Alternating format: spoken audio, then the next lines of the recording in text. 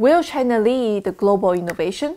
The report at the 20th CPC National Congress highlighted innovation, saying that it will remain at the heart of China's modernization drive. It also highlighted China's R&D expenditure, which has risen to 2.8 trillion yuan from 1 trillion yuan 10 years ago.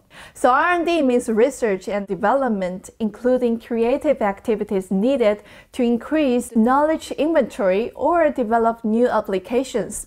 The new number makes China the second largest spender on R&D, showing how much efforts has been invested in technological areas. Not only has government sci-tech spending increased, enterprises and institutes have also been incentivized to innovate.